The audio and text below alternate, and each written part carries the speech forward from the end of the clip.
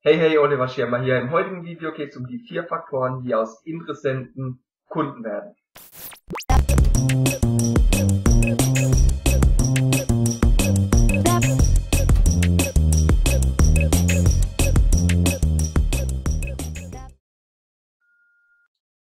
Ja, herzlich willkommen. Wie schon eben gesagt, geht es heute um die vier Faktoren, die aus Interessenten Kunden werden.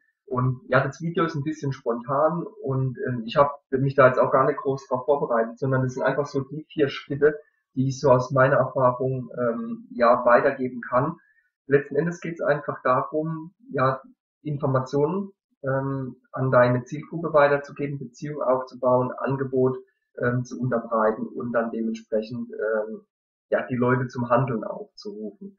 Und wenn wir uns das einzelne mal genauer anschauen, dann stellen wir einfach fest, ähm, ja, bei, bei dem Thema Informationen, die Menschen nutzen ja das Internet eigentlich nur, weil das sind eigentlich nur zwei Punkte. Zum einen Entertainment, also Unterhaltung. Ja, es sind äh, die Social, die Social Networks, Facebook, äh, YouTube und wie auch immer. Und dann gibt's noch einen zweiten Grund, also ich nehme das jetzt einfach so als Überbegriff, das ist so das Thema Informationsbeschaffung. Wenn Menschen äh, ein Produkt kaufen, dann suchen sie nach Erfahrungsbericht zu dem Produkt, Rezensionen, ähm, ja, vergleichen vielleicht auch noch Produkteigenschaften. Das heißt, ähm, sie schauen einfach, okay, ist das, was ich kaufen will, ähm, quasi gut für mich. Und ähm, andere Arten von Informationen sind zum Beispiel halt auch, ähm, wenn ich irgendein Problem habe, ja, wie kann ich ähm, dieses äh, Problem lösen, ja, und das ist einfach so, was ich da damit meine mit dem Thema Information. Und jetzt ist es halt von entscheidender Bedeutung, dass du, wenn jemand äh, ja die Suchmaschine aufruft ähm, und es ist ein potenzieller Kunde von dir, dass du dann natürlich auch gefunden wirst. Ja, und deswegen ist es wichtig, dass du deine Informationen ja dementsprechend bereitstellst. Orientiere dich da einfach dran. Ja, wer bist du? Was was machst du? Ähm, wieso? Ja, weshalb? Warum? Ja, so kannst du dich einfach da mal dran äh, orientieren. Und dann ist ein ganz wichtiger zweiter Schritt ähm, das Thema Beziehung aufbauen. Beziehung aufbauen ist ähm, deshalb so wichtig, weil es spielt eigentlich gar keine Rolle, ob du jetzt, ob du jetzt online arbeitest, ob du offline arbeitest, egal ob du jetzt Telefonakquise betreibst, Direktkontakt, ob du ja online eben deine Kunden gewinnst. Letzten Endes geht es darum, dass du es schaffst, eine Beziehung zu der Person herzustellen, die ähm, dir vertraut. Ja, wenn du zum Beispiel äh, telefonisch äh, deine Termine vereinbarst, dann gilt es, so viel Vertrauen aufzubauen, dass die Person Ja zu einem Termin sagt.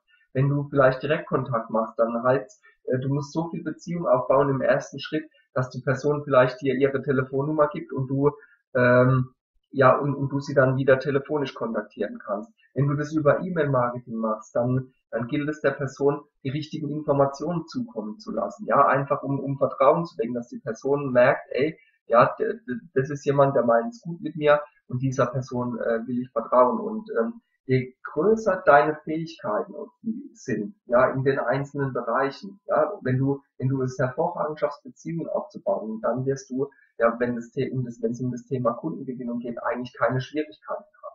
Ja, weil äh, die Menschen kaufen nicht irgendein Produkt, ja, sondern sie kaufen den Nutzen, aber sie kaufen erst dann, wenn sie glauben, dass es gut für sie ist. Und wenn du schaffst, den Glauben äh, an die Person ja quasi zu vermitteln, ihr quasi diesen Glauben zu geben, dass die Person sagen kann, ja, das ist gut für mich, dann wird sie den Kauf auch machen. Du kannst die besten Argumente nehmen, du kannst äh, das beste Fachwissen haben. Wenn dieser Glaube nicht da ist, wird die Person nicht kaufen. Vielleicht kauft sie sogar eher ein ganz anderes Produkt, was viel schlechter ist als deins.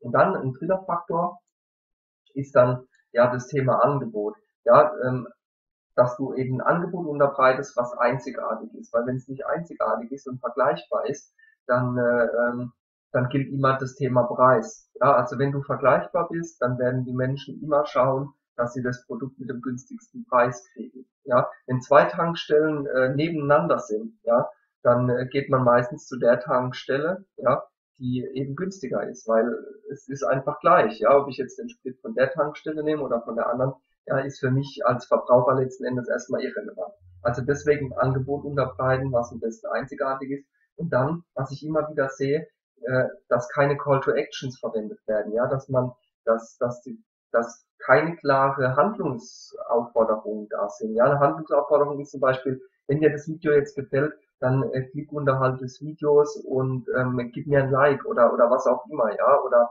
kauf dieses Produkt oder trag dich in meinen Newsletter ein.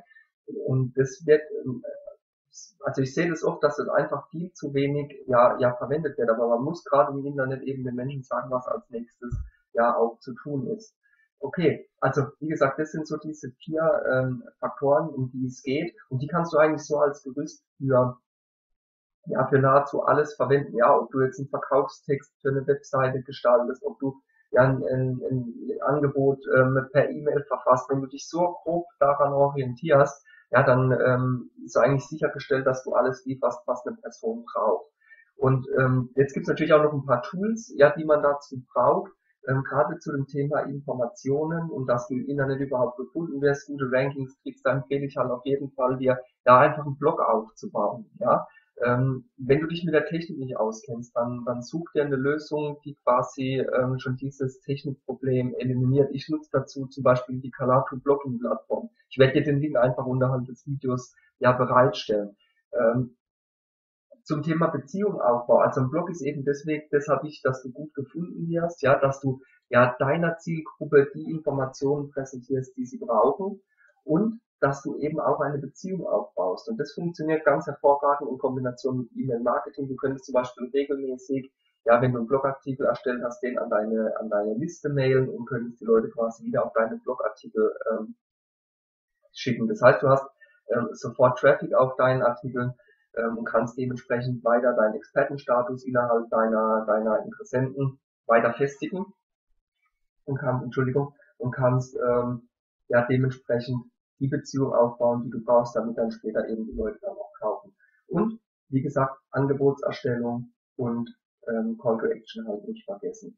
So, für das Thema E-Mail-Marketing ähm, beziehungsweise Interessentengewinnung, Lead Capture Site aufbauen, da stelle ich dir auch nochmal ein Tool unterhalb des Videos zur Verfügung. Das sind so die zwei Tools, die du brauchst, wenn du im Network Marketing ja, ähm, ja online arbeiten willst.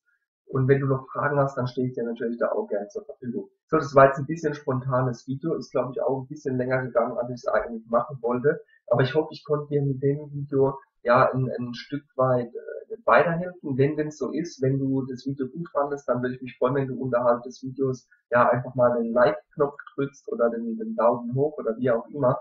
Und ja, wenn noch was ist, wenn du Fragen hast, dann setz dich doch einfach mit mir in Verbindung. In diesem Sinn wünsche ich dir jetzt alles Gute, maximalen Erfolg, einen schönen Tag, dein Oliver Schirmer. Ciao, ciao.